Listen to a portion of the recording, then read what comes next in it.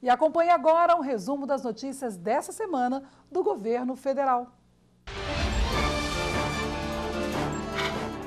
A presidenta Dilma Rousseff esteve em Alagoas. Dilma se encontrou com os governadores dos estados da região Nordeste e participou do lançamento regional do Plano Brasil Sem Miséria. As ações do Brasil Sem Miséria na região devem ser desenvolvidas pelos estados e municípios, em parceria com o governo federal, até 2014. Agulhas e seringas vão ter o selo do Inmetro.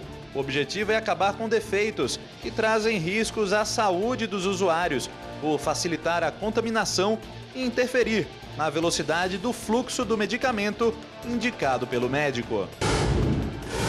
O governo apresentou o programa Ciência Sem Fronteiras. São 100 mil bolsas de intercâmbio nas principais universidades do mundo para estudantes e pesquisadores. O programa foi lançado durante a reunião do Conselho de Desenvolvimento Econômico e Social. Pelé foi nomeado embaixador do Brasil na Copa do Mundo de 2014. O título foi criado por meio de decreto, assinado pela presidenta Dilma Rousseff. O aeroporto de Brasília é o primeiro a testar portões eletrônicos com um leitor automatizado de passaportes.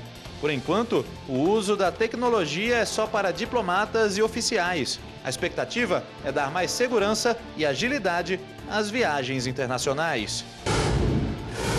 O déficit da Previdência caiu 521 milhões de reais entre maio e junho deste ano. Os dados são do regime geral da Previdência Social. O brasileiro se alimenta mal.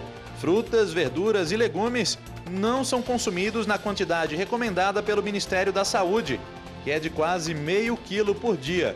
A conclusão é de uma pesquisa do IBGE. A presidenta Dilma Rousseff participou em Lima, no Peru, da posse do presidente eleito Ollanta Humala.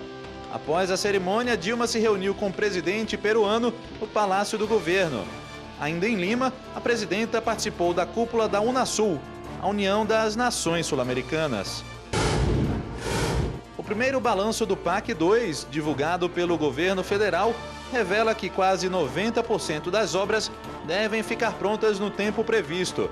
Nesta nova fase do programa de aceleração do crescimento, vão ser investidos 955 bilhões de reais no período entre 2011 e 2014.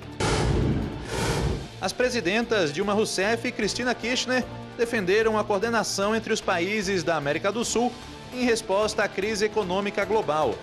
A presidenta argentina esteve em visita oficial ao Brasil. Além do encontro com a presidenta Dilma Rousseff, Cristina Kirchner participou da inauguração da Embaixada da Argentina em Brasília, acompanhada também do ex-presidente Lula. A presidenta Dilma Rousseff recebeu no Palácio do Planalto os medalhistas da delegação brasileira dos Jogos Mundiais Militares Rio 2011.